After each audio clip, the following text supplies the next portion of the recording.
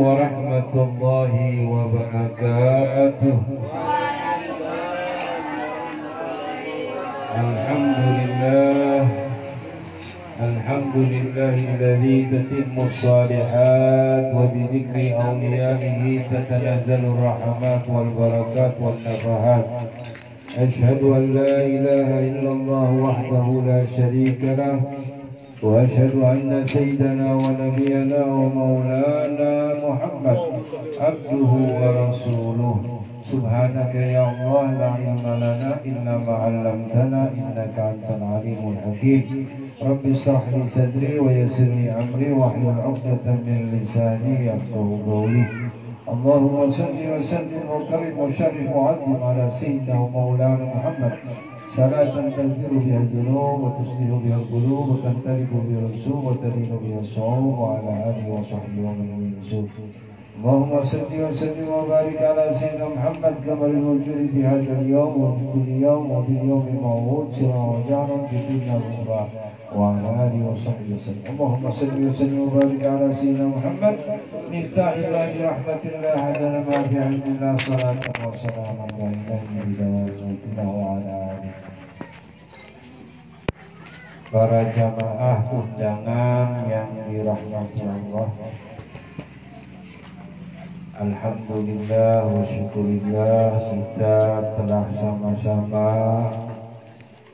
membaca sirah nabawiyah membaca manakib daripada baginda Nabi sallallahu alaihi wasallam. Yakin hakul yakin Allah mencurahkan rahmat dan berkahnya karena seperti yang tadi Habib mengawalinya bahwa baginda Nabi mengatakan zikrus salihin tatanazzalur rahmat wal barakat dengan menyebut-nyebut nama orang saleh itu jadi mengundang. Mengundang rahmat Allah mengundang barakah Allah turun di tempat itu. Turun di kumpulan itu Nah yang kita sebut-sebut nama ini pemimpin orang-orang saleh, imam orang-orang yang bertakwa. Ana sayyidu waladi Adam kata Rasulullah sallallahu alaihi wasallam. Wala fakhar, tetapi saya tidak sombong. Jadi sungguh yakin aku yakin. Hadirin yang dirahmati Allah sudah menjadi kebiasaan orang-orang bahari, orang-orang tua kita punya ajaran bahwa apa pun hajat kita itu harus diawali, didahului dengan salawat ala Nabi atau pembacaan maulid.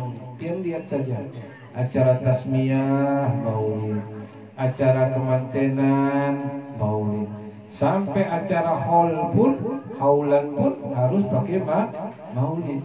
Karena memang benar baginda Nabi pernah bersabda ma min du'ain bainahu wa bainas sama hijab hatta yusalli alaihi idza salla alaihi ihtaraka dzalika hijab wa rufi'at du'a. Barang siapa berdoa itu antara dirinya dan langit itu ada hijab, ada penghalang, ada tabir.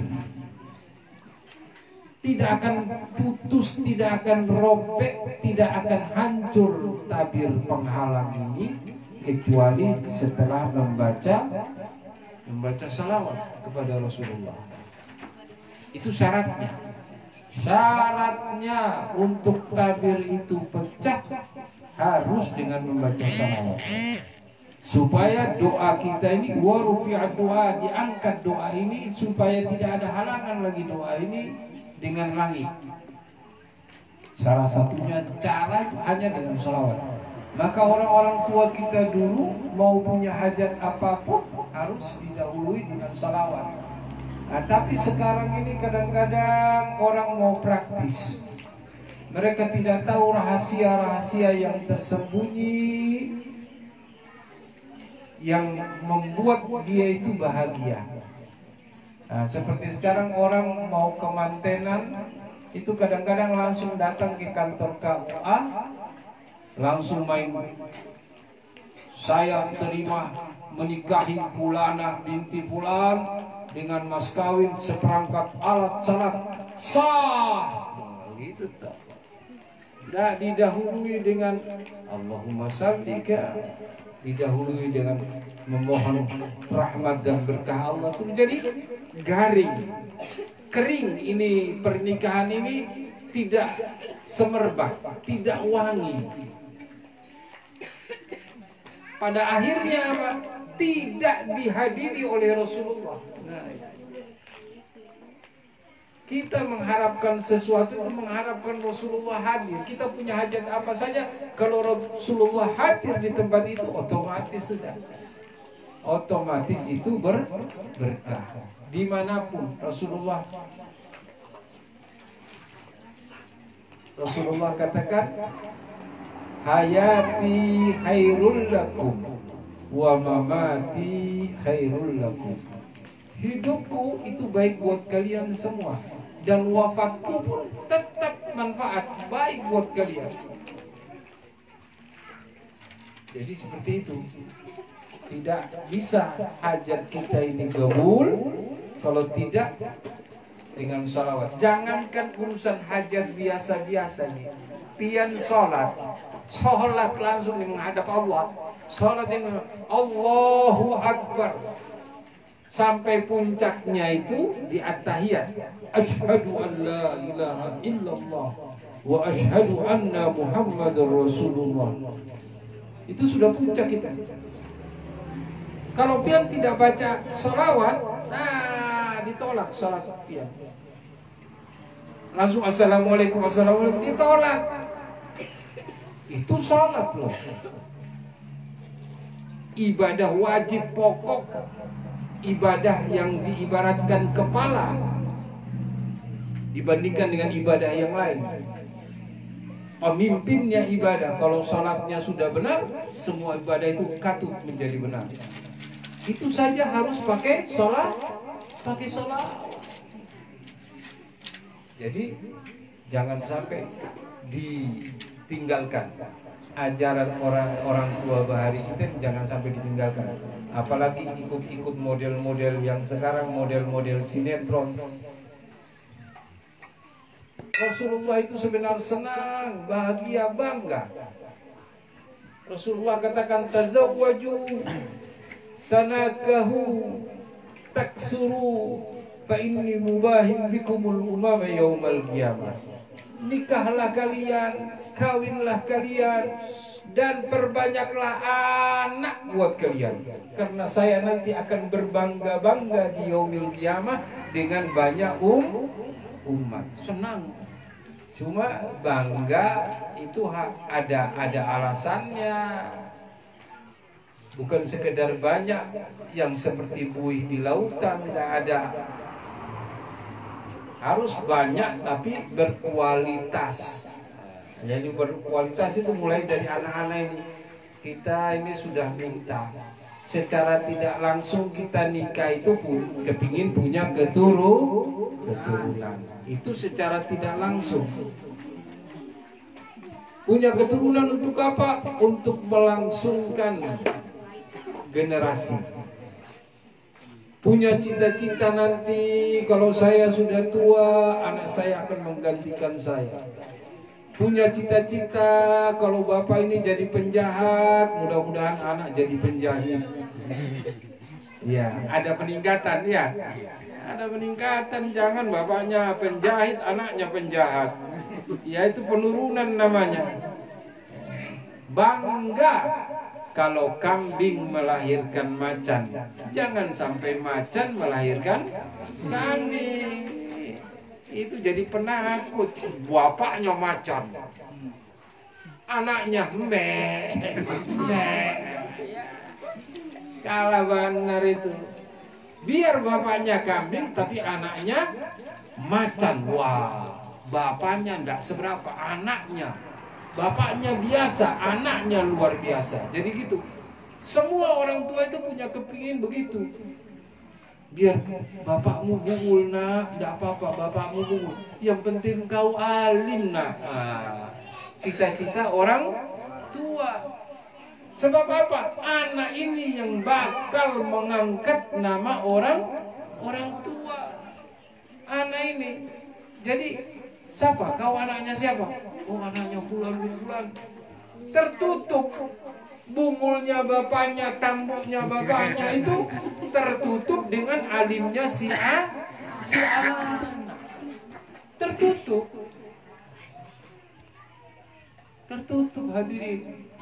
Jadi itu modal utama orang tua itu di anak.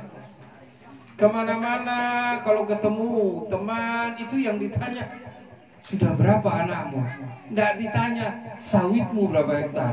Tidak sawit karetmu berapa hektar tidak ada yang ditanya ah, anak itu modal untuk apa sawit dan karet tidak bisa memasukkan seseorang ke surga atau ke neraka tidak bisa tapi anak ini bisa memasukkan orang tuanya ke surga tapi juga hati-hati bisa memasukkan orang tuanya ke neraka jadi kalau sekarang Muhammad Akmal telah diberi diberi hadiah oleh Allah Subhanahu wa taala amanah. Hadiah itu sekaligus ah, amanah. Hadiah juga merupakan cita-cita. Saya berpesan untuk Muhammad Akmal pertama untuk menjaga menjaga dari pemberian makanan kepada anak. Mulai dari sekarang anak itu disaring anakku akan aku beri makan hanya yang halal. Untuk apa? Untuk bakal jadi jadi orang alimul alama atau orang yang bermanfaat atau orang yang akan mengagungkan nama orang tuanya ini. Jadi mulai dari makanan. Makanan itu otomatis apa yang dimakan oleh ibunya untuk sementara. Hati-hati. Kemudian setelah dia sudah mulai apa nih sudah mulai besar nanti masalah pendidikan tapi ini yang pertama ini yang pertama ini ibunya jadi istri daripada Muhammad Akmal ini hati-hati untuk memberi makan untuk makan masukkan makanan ke mulut itu dikoreksi karena ini nanti ada hubungan dengan anak disusui kalau kita kepingin anak kita ini menjadi orang yang mulia, maka direkso, diperiksa benar makanannya. Tidak akan masuk ke mulutnya kecuali barang yang halal itu satu. Yang kedua di dalam meniman mengayun anak jangan sampai lupa dengan kalimat-kalimat toyibah. Kalimat-kalimat yang baik. Seperti begini. La ilaha illallah La ilaha illallah Muhammadur Rasulullah. Ahmad Zain Wali Allah La ilaha illallah La ilaha illallah. Muhammadur Rasulullah Ahmad Zain hamba Allah. Jadi di, di apa nih? Hajat-hajat kita, kepingin-kepingin kita itu dihaturkan. Dan kalimat-kalimat taibah yang bagus-bagus mengayun anak itu dengan salawat bisa. Ya Allah ya Tuhanku Nabi Muhammad lah nabiku Berkat Quran ya imamku Jadi sering, sering, sering diperdengarkan anak ini dengan asma Allah Asmaul Husna Dengan asma'nya baginda Nabi Dengan nama-nama baginda Nabi Supaya apa? Supaya dibiasakan Nanti anak ini akan bisa karena apa? Karena dibiasakan oleh ibunya. Ibu adalah madrasah awal daripada anak. Ibu ini adalah tanah. Bibit tidak seberapa, tapi yang penting tanahnya. Pian nanam sawit pian nanam karet bibitnya istimewa. Tanahnya kering kerontang. Diharapkah tanamannya bagus? Nggak bisa biar bibitnya biasa-biasa saja tapi tanahnya ini humus tanah subur oh yang tumbuh akan jadi istimewa istimewa. Itu penting. Yaitu yang jomblo-jomblo. Kalau cari istri yang dilihat akhlakul kari karimah. Karena ini penting istri itu cetakan. Nah cetakan.